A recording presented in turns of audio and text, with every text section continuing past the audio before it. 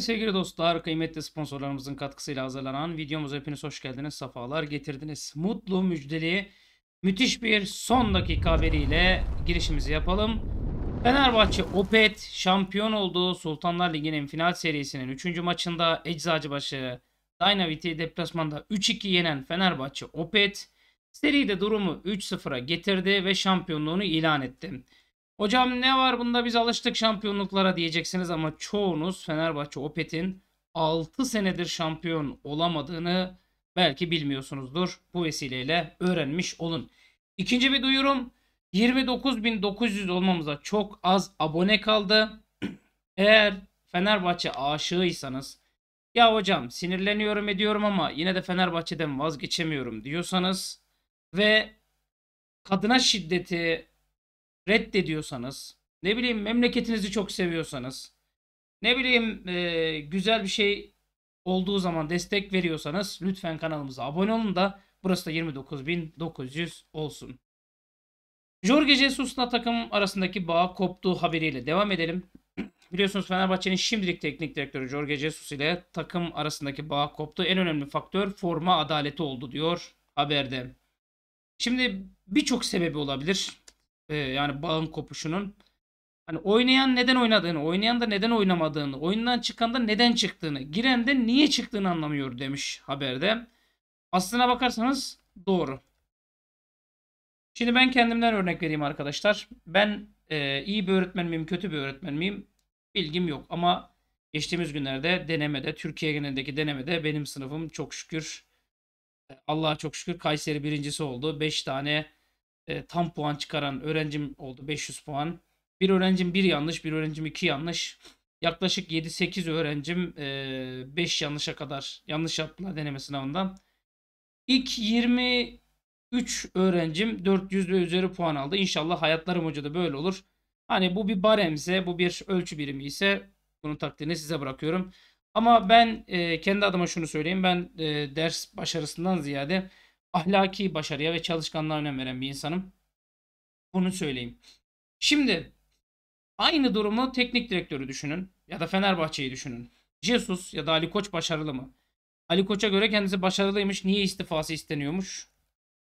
Çok düşünüyormuş bunu. Ee, yani bu inşallah bu iddia yalandır. Çünkü bu kadar saçmalamıyordur. Şimdi arkadaşlar bakın Dediklerimde bir yanlışlık var mı? İyi maç çıkaran futbolcu ertesi hafta kulübede bekledi. Rotasyon saçmalığı adı altında. İyi oynayan futbolcu oyundan alınıyor. Gol umudu, hani gol atman lazım, golcü oyundan alınıyor. E, futbolcular sosyal medyada hedef haline geliyor. Hani bir şey söyleyeyim. Kapalı savunma oynayan takıma karşı oynatılmayacak futbolcu oynatılıyor. Açık savunmaya karşı oynatılması gereken futbolcu yedek bekletiliyor. Yani Mesela en son Giresun maçı. Ben hala ve hala ve hala anlamıyorum. Ne olur biriniz bana anlatın. Emre Mor niye oyuna alınmaz? Daralan becerisi var. Şapkadan tavşan çıkarabilir vesaire vesaire vesaire. Ve futbolcular ciddi bir e, protesto içindeler. Yani tribün desteği çok değişik bir hale büründü. Fenerbahçe eline geçen fırsatları elinin tersiyle itti. Ve Jesus'un çıkardığı kadroya, değişikliklere inan yani hepsine inanç bitti. Mesela somut örnekler. İrfan Can Eğribayat 6 ay sakatlanana kadar süre almadı. Mecburen forma şansı aldı. Ama Altay'dan daha çok güven verdi Fenerbahçe taraftarına. Yani oynadığı hiçbir maçta hatalı bir gol yemedi ve önemli kurtarışlar yaptı diyor. Katılıyor musunuz? Katılıyorsanız lütfen videoyu beğenin. Yine katılıp katılmayacağınızı soracağım şeyler var. Zayt son maçta da oyuna sonradan girip kendi oluşturduğu pozisyonu az kalsın gol yapıyordu her girdiğinde büyük katkı sağlayan futbolcu bir türlü oynatılmıyor. Sanki Fenerbahçe kazanmak istemiyorcasına. E, yani katılıyorsanız videoyu beğenin.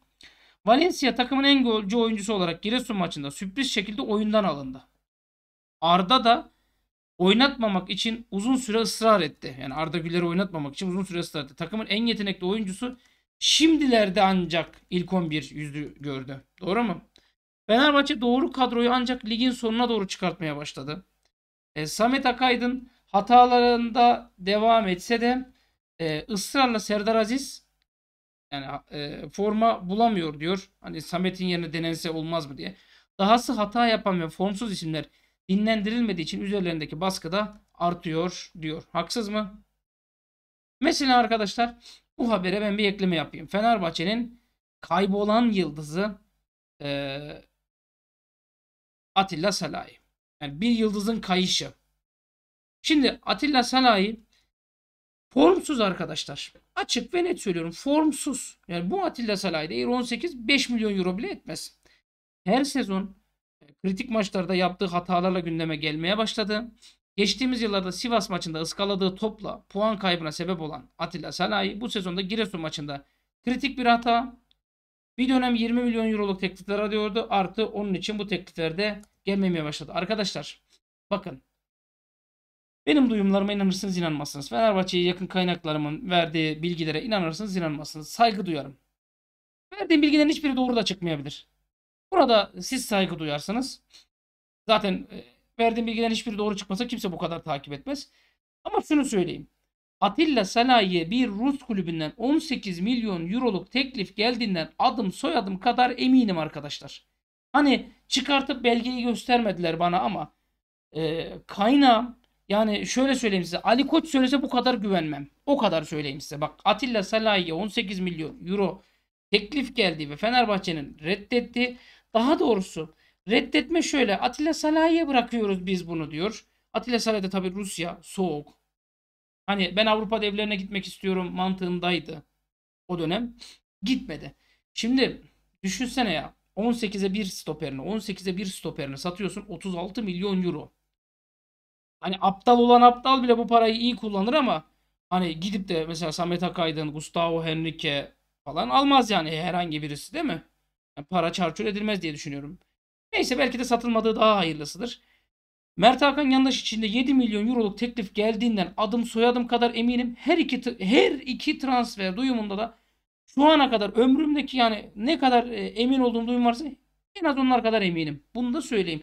Ben burada Ali Koç düşmanlığı şu bu yapmıyorum arkadaşlar. Onu da söyleyeyim. Peki hocam Atilla Salahi'deki düşüşün sebebi ne? Yani 18 milyon euro teklif geldiğine göre bu futbolcunun bir gideri var. Peki niye Fenerbahçe'de sıkıntı? Ben size söyleyeyim arkadaşlar. Çok çok çok çok net %100'lük bir şey şekilde söyleyeyim. Bu sezon Fenerbahçe 49 resmi maça çıkıyor. 47'sinde Atilla Salahi sahada. Yani 49 maçın 47'sinde. Ya arkadaşlar Allah aşkına fiziksel olarak hani bu kadar zorlama yani basit bir şey değil. Ve son dönemdeki performansının düşüşü hani Giresun maçındaki o hata sadece cezalı olduğu Alanya Spor maçında ve sakatlığı sebebiyle Sivas Spor maçlarında oynamadı. Ve dinlenme imkanı da bulamadı arkadaşlar. Bakalım sezonun devamında ne olacak ama ben şunu söyleyeyim. Atilla Salahi için aynı Rus kulübünün teklifi e, kısmen devam ediyor. Bakalım sezon sonunda ne olacak. Ben hatta şunu söyleyeyim. Arkadaşlar bakın transferde, duyumda %100 diye bir şey olmaz. Ya küçücük bir şey çıkar iptal olur. Ama size %100 bir bilgi vereyim.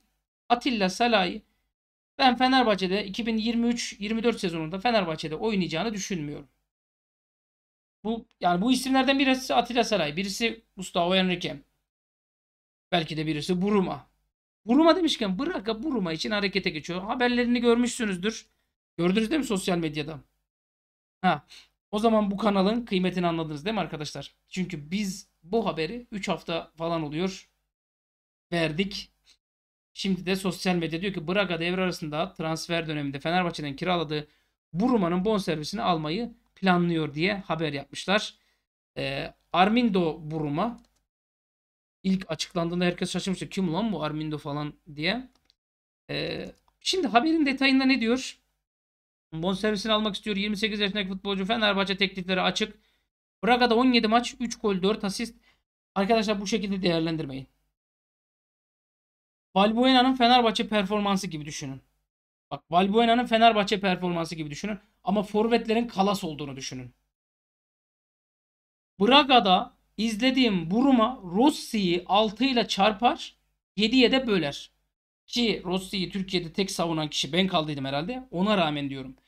Hatta bir dönem ben size dedim ki Buruma mı Rossi mi devam etsin. Birçoğunuz Buruma dediniz. Dedim ki bak Rossi diyen arkadaşlar emin olun bak Buruma'nın bir PR'ı var bir şeyi var.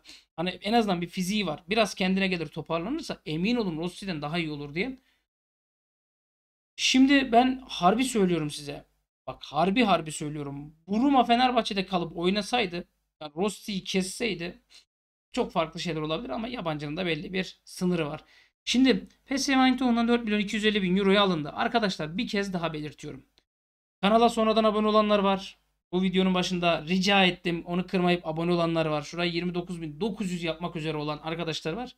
Onların adına bir kez daha söylüyorum. Bendeki bilgi 5,5 milyon euro satın alma opsiyonuyla Braga'ya gittiği şeklinde. Hocam sen inanıyor musun? Bizimkiler 4.250'yi alacak. Kiralayacak da 5.5'a bonservis alacak. İmkanı yok hocam. Bizimkiler bak o 2.5'tur. Senin yanlışın var diyeceğinizden eminim. Ben zayıf duyum olarak veriyorum arkadaşlar. İnanıp inanmamak ya da doğruluğunu araştırıp araştırmamayı da size bırakıyorum. Cao Pedro için İtalya'dan 3 talip birden. Yani anlatmaya gerek yok. Görüyorsunuz. Yani buyurun. Arkadaşlarım. Canım arkadaşlarım. Biz burada ne konuşuyoruz? Bir hafta, iki hafta, üç hafta, ne bileyim birkaç gün, üç gün, beş gün sonra sosyal medyada haberlerin yayınlanması beni çok mutlu ediyor. Niye mutlu ediyor biliyor musunuz? Bak haber doğru olsun yanlış olsun. Umurumda değil. Size karşı var ya çok hani göğsümü gere gere diyorum ki bakın ben demiştim. Siz de duymuştunuz, dinlemiştiniz, konuşmuştuk. Çok şükür. Niye biliyor musunuz? Ya arkadaşlar düşünsenize. Ben burada flash bir iddia ortaya atıyorum. Bir başlık atıyorum. İşte flash yani Cao Pedro'ya 3 tane talip. Lan ne haberlere düşüyor ne bir şey oluyor ne şey oluyor. Sormaz mısınız? Nerede hocam teklif diye. Alın işte. Geçen sezon başında Cagliari'den formasını e, kadrosuna kattığı Cao Pedro için İtalya'dan ekipleri sıraya girdi. Kim bunlar? Genoa, Bologna, Udinese'nin Pedro ile ilgilendiği aktarıldı. Arkadaşlar ben ısrarlı bir şekilde söylüyorum. Cao Pedro için en ciddi aday Fiorentina. Bu haberde yok. Olmasın. Bak iki ismi unutmayın. Cao Pedro için Fiorentina, Ferdi Kadıoğlu için Borussia Dortmund. Bunları aklınızdan çıkarmayın.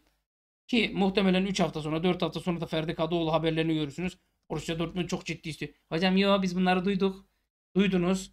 O duymadan önce sosyal medyada duymadan önce bu kanaldaki arkadaşlar size anlatsın. Şimdi İtalya'ya geri dönebilir diyor. 31 yaşında. Allah aşkına alınan maç yani fiyat belli. 26 maçta forma giyip 5 golü var. Yani 3 kulüp Cagliari'deki performansını pas alıyor. Sözleşmesi devam ediyor. Şimdi arkadaşlar ben size bir şey söyleyeyim. Devre arasında Fiorentina geldi. Kiralık olarak istedi.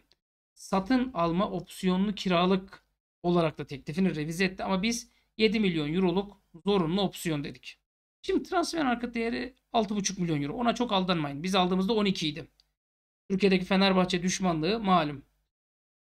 Şimdi 4 milyon 680 bin euro bonservis bedeli var. Yalnız burada bir şey ekleyeceğim lütfen dikkat. 4 milyon 680 bin euroya aldın. Sen de 5. 7'ye satarsak 1 milyon kere başarı. Ben ümidi kestim. Bak atik değil, pratik değil. Hani araya girip koklamıyorum. Ancak İsmail Kartal olur. Sergen Yalçın olur. Christoph Daum olur. Ee, hani bir Alman teknik direktör olur. Ya da 4-2-3-1, 4-1-4-1, 4-1-2-3 gibi tek forvetli sistemde oynatan bir teknik adam gelir. Al sana kütürük eriği gibi forvet. Kütürük eriği gibi forvet. Niye biliyor musun? Koklama özelliği çok yüksek. Pozisyon koklama özelliği çok yüksek. Ve teknik becerisi yüksek. Ama 7 milyon euroya satarsan bundan iyisi Şam'da Kayısı. Geçtiğimiz günlerde ben e, Twitter'da Cengiz abiyle ve Ulaş abi, yani Prof. Değeri, Alex ve Redondo'yla şu konuyu konuştum. Dedim ki Fenerbahçe forvetleri yetersiz diyorsunuz. Peki size bir soru dedim. Firmino'yu Fenerbahçe bir şekilde transfer etti. Alın az forvetimiz bu. Tek forvetli sisteme döndün. Yedek forvetinde Batshuayi. Üçüncü forvetinde hani e, Bienvenu tarzında pişmekte olan 20-21 yaşındaki bir siyahi ya da beyaziyi aldı koydu. Kabul müsünüz dedim. Bunu kabul etmeyecek ahmaktır dedi. Ben de diyorum ki bak Batshuayi'nin bir tık üstü bir forvet. Cao Pedro Batshuayi'nin bir tık üstü mü? Değil. Yani eşdeğer ya da daha alt ayarda diyebilirsin. O zaman ihtiyacın yok. Bugün size bir şey söyleyeyim. Cao Pedro ve Joshua King'i toplam 10 milyon euroya satsa Fenerbahçe tarihi başarıdır. Bunlar bizde gitmez. Bunlar bizde olmaz. Tamam kaliteli futbolcu ama bize ligin e, özelliklerine uygun futbolcu lazım. Mesela Ryan Kent. Fenerbahçe'ye Kent transferinde rakip çıktı. Şimdi bir şey söyleyeyim. Bazı futbolcular bulundukları ligde tırt olabilir. Ama bulundukları ligden çekip uygun lige koyduğun zaman da o olabilir. Ferdi Kadıoğlu Fenerbahçe'den alın İspanya'nın Rayo Vallecano, Sevilla, e, Atletico Madrid takımına koyun. Az futbolcu olarak oynasın. Bir sonraki sezon 80 milyon euroya İngiltere'ye transfer olur. Yalan mı? 80 milyon euroya 90 milyon euroya transfer olur. Niye? Fizik var, bastırma var, pozisyon becerisi var, çalım var, hücuma katkı var, destek var, ayağına hakim vesaire. Rossi'yi Fenerbahçe'den alın, Hollanda'nın Ajax takımına koyun. Bir sonraki sezon 60 milyon euroya gider Premier Lig'e, şeye, La Liga'ya falan transfer olur. Derler ki böyle bir kanat görmedik. Niye? Orada fizikle değil, orada daha çok süratle, daha çok hani arkaya kaçırmayla, işte birebir de adam eksiltmeyle falan oynanan bir lig. Tam kendini kanıtlayacak. Ya da Rossi İspanya Ligi mesela. İtalyan pasaportu şeyi falan var ama Avrupa Birliği'nde de rahat oynadığı için. Anlatabiliyor muyum? Mesela Pedro bizde olmaz. Ryan Kent Rossi'den daha çok tutar. Çünkü bu herifte fizik var. Bizim kanatta oynayan herif vurdu muydu devirecek, indirecek. Romain Lens Fenerbahçe'de niye iş yaptı? Yani çok özür diliyorum bu tabiri kullandığım için ama hayvan gibi fiziği vardı. Yani Lens'e vuruyorlardı. Vuran kişi yere yılıp hocam faul değil mi diyordu. Bize böylesi lazım. Kayt. Demir gibiydi ya. Emenike. Sov. Allah aşkına bir düşünün bak. Bizim kanatta. Hocam var bu yana küçücüktü şu kadarcıktı. O nasıl yapıyordu? O da hızdan dolayı kazanıyordu. Stok da hızdan kazanıyordu. Anlatabiliyor muyum? Hani füleli adımlarla e, kısa küçük adımlarla çok çabuk adam eksilttiği için kazanıyordu. Yani bunu umarım anlarsınız. Demek istediğimi size anlatabilmişimdir umarım. Şimdi Kulüp Brüj'de Ryan Kent'le ilgileniyormuş. Durumu hala belirsizmiş ve teklif hazırlığında olduklarını belirtiyor. Rangers teknik direktörü de Michael Beyla Kent için Fenerbahçe haberlerinin doğru olduğuna inanmadığını söylemişti. Bunun doğru olduğunu sanmıyorum diye. Birkaç yıldır önemli bir oyuncumuz bunu kendi aramızda konuştuk. 44 maç 3 gol 8 asist diyor. Sanki daha fazlaydı diye hatırlıyorum ama yani gol sayısını daha fazla ya asist sayısını daha fazla diye hatırlıyorum ama öyle diyorlarsa öyledir bir şey diyemem. Ben şunu söyleyeyim. Rossi'den Kent'e dönmek de mantıklı değil. Biz Rossi'den Sova dönmemiz lazım. Rossi'den Kayt'a dönmemiz lazım. Aynen 44 maç 3 gol 10 asist yazıyor. Yani haberi yapan arkadaşım inşallah haber yapmayı unutmamıştır. 3671 dakika yani yaklaşık 41 maç. Ee, çok müthiş bir performans. Ee, öyle söyleyeyim. Şimdi oyuncuyu Fenerbahçe'ye getirdiler, imza attırdılar. Fenerbahçeli formasıyla sosyal medyaya haber verdiler. Ben dedim ki bu tamamen doğru değil. Yani oyuncuyu tamamen almadık. Bu almayacağımız anlamını taşımıyor yalnız. Onu da belirteyim bak ısrarla söylüyorum. Almayacağımız anlamı taşımıyor. Ama şunu da belirteyim. Bakın Süper Lig için biçilmiş kaftan bu futbolcu. Ben hani futbolcu transferinde kolay kolay yanılmam. Ama son yıllarda Fenerbahçe'deki bazı saçmalıklar beni çok şaşırttı. Ben kolay kolay yanılmam. Bu kent Fenerbahçe'de iş yapar. Cao Pedro önümüzdeki sezon eğer tek forvet sistemine döneceksek mesela ikinci forvet Cao Pedro. Buruma'yı da 10 milyon euroya sattın. O, oldu hocam kaymaklı da baklava da getireyim. Ya misal veriyorum Buruma'yı 10 şey Buruma diyorum. E, Batshuayi'yi 10 milyon euroya sattın. E, King'den de çıktın. Firmino'yu getirdin. İkinci forvetin Cao Pedro yine olur. Yine kaliteli bir forvet attı. Bak yine kaliteli bir forvet attı. Ama böyle devam edecekse ben 6-7'ye satılması kararındayım. Son haberim e, Fenerbahçe'de kesin karar tapusu alınıyor. Arkadaşlar İrfan Can Eğribayat'tan bahsediyor. Şimdi İrfan Can Eğribayat için hatırlarsanız Trabzonspor'un e, alacağını söylediler. Newcastle United falan dediler. E, yani Birçok takımın adını söylediler ama ben ısrarla söyledim. 1.2 milyon euroya satın alma opsiyonumuz var diye söyledim. Bugün herhalde 1.2 milyon euroya satın alınsa herhangi bir itiraz olacağını zannetmiyorum. Var mı itiraz edecek arkadaşlar? Bas hemen kafasına bir tane demir kürekten bir tane geç dedim. Ondan sonra konuşsun bakalım. Ne diye konuşuyorsa. Hangi kamerada konuşuyorsa. Şimdi 9 resmi maç 12 gol bir maçta kalesini gole kapattı. Ancak Ceza sahası dışından gol yemedi. Süper Lig'de 5 maç kalesine gelen şutlarda %65 kurtarış oranı. Ceza sahası içi şutlarda %46, ceza sahası dışı şutlarda %100 kurtarış oranı yakaladı diyor. Ben şunu söyleyeyim. Bir istatistik gördüm. Fenerbahçe'de ilk dönem 8 maç gol yenilmemiş. ikinci yarı 2 maç gol yenilmemiş. Ya rezalete bakabilir misin? Rezalete bakabilir misin? İlk devre 8 maç gol yemeyen bir takım. Ulan çocuğu buldu. Belki bak bir şey söyleyeceğim. İlk devredeki defans e, gücü ikinci devrede olsa belki bu çocuk da yani şu ana kadar belki işte 5 Süper Lig maçı belki 5'inde de gol yememiş olacak. Beşiktaş maçı Allah'ınızı severseniz ya Allah'ınızı kitabınızı severseniz gol yenilecek maç mıydı? Yani bir düşünün 1-0 öndesin 2'yi yakalama imkanı var. Rakip 10 kişi kalmış. Haksızsam haksızsın deyin. E, Sivas maçı gol yenilecek maç mıydı? Aldı. al. Giresun maçında yediğimiz golü düşünün Atilla Salah'ın dandikliği. Yani e, hepsini bir koyun ya. Hepsini üst üste koyun. Hepsini üst üste koyun. İstanbul Spor maçı 3 gol yenilecek maç mı o maç ya? Yani çocuğun da şanssızlığı bu. Ben şunu e, söyleyeyim arkadaşlar. İrfan Can Eğribayat iyi bir kaleci. Ben ön yargılıydım açıkçası ama onu söyleyeyim. Şimdi Fenerbahçe'de şampiyonluk gitti diye üzülüyor. Ama ben şunu söyleyeyim. Şampiyonluktan çok daha önemli bir şey olabilir. Ne olabilir? Ali Koç'un gitmesi olabilir. Ben şunu söyleyeyim arkadaşlar. Ee, hani bizde çok eğitimde çok değişken etkenler vardır. Değişken e, değişkenlik gösteren etkenler vardır. Neler vardır mesela? Öğrencinin psikolojik durumu. Öğrencinin oturduğu sıra. Öğrencinin yanında oturan arkadaşı. Öğretmenin psikolojik durumu. İşte materyaller, işte okula dair şeyler, ne bileyim ailevi sorunlar, problemler, onlar bunlar şuna bir sürü etmen. Şöyle düşünün öğrenci başarısız her şeyi değiştiriyorsun. Ailesini değiştiriyorsun. Yani imkanı yok da değiştiriyorsun. E, ortamını değiştiriyorsun. Hani en iyisini veriyorsun. Onu yapıyorsun, bunu yapıyorsun, okulu değiştiriyorsun, öğretmeni değiştiriyorsun. Ama sürekli hani tahtasız bir sınıfta eğitim yapıyor. Tahta yok. Tahtasız bir sınıfta eğitim yapıyor. Ama çocuk sürekli başarısız. Siz de diyorsunuz ki lan onu değiştirdim, bunu değiştirdim. Okul müdürü de geliyor diyor ki benim tahtama kimse laf edemez. Tahta yoksa yok. Diyor. Fenerbahçe'nin de durumu bu. Teknik direktör değişiyor. Oyuncular değişiyor. Sistem değişiyor. Samandıra değişiyor. 5 yıldızlı falan logolar mogolar ekleniyor. Abilcilik, ablacılık hepsi değişiyor. E, sportif direktör getiriliyor. O getiriliyor. Bu getiriliyor. Yöneticiler değişiyor. Samandıra'ya gitmeye yasaklanıyor. Yedek kulübesine girmeye yasaklanıyor. Her şey değişiyor. Bir şey hariç. Tahta. Tahta tabii zorunuza mı gitti? Tahta derken örnekteki tahta. Hocam sen Ali Koç'a tahta diyemezsin. Ben Ali Koç'a tahta demiyorum ki. Bir şey. Her şey değişiyor ama bir şey değişmiyor. Özür dilerim iki şey değişmiyor.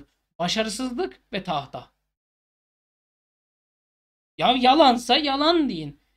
Burada mesela birçok arkadaşım bak. Benim sizinle uyuşmadığım nokta şu. Sezon başlıyor. Başlıyorsunuz. Bu çöp. Bundan olmaz. Bu kötü.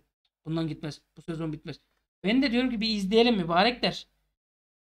Takım bir başladı. Hepiniz şampiyon ilan ettiniz. 103 gol rekoru kırılır mı? Allah aşkına açın arşivi tarayın. Bakın bakalım ne demişim. Demişim ki saçmalamayın. Böyle yaparsanız asla şampiyon olamayız. Öyle yaparsanız düşeriz. Bizim yapmamız gereken maç maç kazanıp kazanıp gitmek. Misal veriyorum. Misal. En yakın rakibinden aradaki puan farkı kaç? 21. Yani 7 maça tekabül ediyor. Ligin bitimine kaç maç var? 8. O maçını da kazan. De ki şampiyonuz. Hocam çüş yani oraya kadar da beklemeyelim. Zaten böyle bir takım varsa o, o 8 maça 5-6 maç kala zaten şampiyonu. Hayır abi. Hayır hayır hayır. 2 senedir 3 senedir aynı yanlış yapıyorsunuz. Bu işte. Başlıyorsunuz. Ali Koç diyor ben her şeyi yaptım şöyle bir. Hayır. Sahanın içi bir de sahanın dışı var. Sahanın içindeki takım kütür kütür gidiyordu. Sahanın dışındaki arkadaşlar ya olur bir kere de bir şey olmaz. Bir şey olmaz. Herifler ne yaptı? Tehdit etti. Oynatmayız ulan ligi dedi. Bombalarız dedi. Savaşta savaş dedi. Demedi mi? Hepsi bütün cümleleri kurdu. Sonra elimizde belgeler var. Kayıtlar var. Sen Fenerbahçe başkanı olarak ha tahta ha sen. Ne dedi? Biz dedi yönetim kurulunda oynadık ligden çekilmeyi falan. Çekil ligden. Hiç gerek yok. Çekildik. İstanbul Spor maçından sonra ligden çekildik arkadaşlar. Siz bizi şampiyon yapmayacaksınız da. Şimdi Fenerbahçe'nin alt sıra takımlarla oynadığı maçlarda daha çok hakem hatası yapılıyor. Niye? Taraftar diyecek ki lan ye, bunu bile yenemiyorsunuz diyecek. Yapıyorlar. Ve tahta şey e, Ali Koç ha Ali Koç'un başkanlığı ha tahtanın başkanlığı. Aynı şey. Her şey değişiyor bir o değişmiyor. Ben şunu söyleyeceğim. Ben şunu söyleyeceğim. Ya okul değişecek. Ne demek istedim umarım anlarsınız. Ya tahta değişecek. Aynı okulla aynı tahta gitmiyor. Yani ya okul değişecek ya tahta değişecek. Zaten birkaç güne bazı şeyler belli olur. Okul değişirse ne ala. Ama okul değişmezse tahta kesinlikle değişecek. Umarım anlarsınız arkadaşlar. Hakkımızda hayırlısı olsun. Bu arada lütfen ve lütfen kanala abone olmayı unutmayalım. 29.900 olmamıza çok az kişi kaldı. Bunu da siz sağlayacaksınız. Ben yapamıyorum arkadaşlar. Benim böyle bir gücüm yok. Siz yapabiliyorsunuz. Güç sizin elinizde. Ben de ricamı sunuyorum arkadaşlar. Görüşmek üzere.